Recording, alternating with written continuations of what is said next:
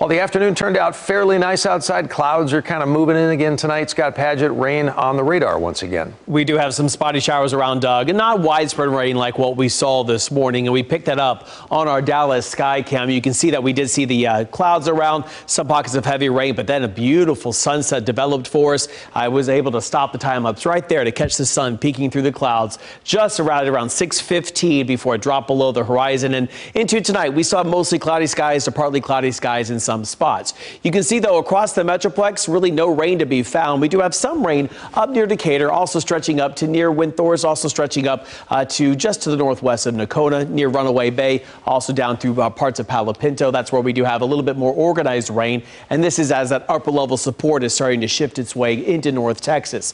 Also seeing some more rain down through parts of Van Zandt County, down into Navarro County near Corsicana, right down 45. So some moderate rain here or there. This morning we did see a large amount of of rain and in some spots over the past 24 hours picking up more than two inches of rain, but near DFW picking up just three tenths of an inch of rain. So depend on where you lived if you saw a lot of rain in the overnight hours or just a little bit that moved through.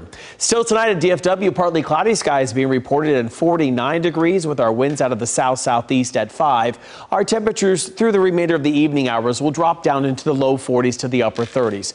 You'll notice that little bit of a change in the air for uh, tomorrow morning. So just have the jacket on and then into the afternoon hours, it's going to be a pretty nice day. You'll notice a lot of sunshine in the forecast. We make it up to about 58 to 59 degrees. That northerly wind holding on near about 5 to 10. So here's that scattered shower activity through the overnight hours into tomorrow morning. All of that activity pushes its way off to the east as high pressure builds in. So that brings a beautiful day for Tuesday. It meanders its way around going into Wednesday. So expect more sunshine on the way for our midweek. So if you're going to be maybe opening up the windows to enjoy the sunshine, just remember medium high category for your pollen count tomorrow and into Wednesday. We're going to be seeing a little bit more rain back into the forecast Thursday into Friday. Better rain chances on Friday as this next upper level low that it's going to make its way out of parts of the west coast over the southern plains going into Thursday to Friday. That provides that lift for some more scattered showers around.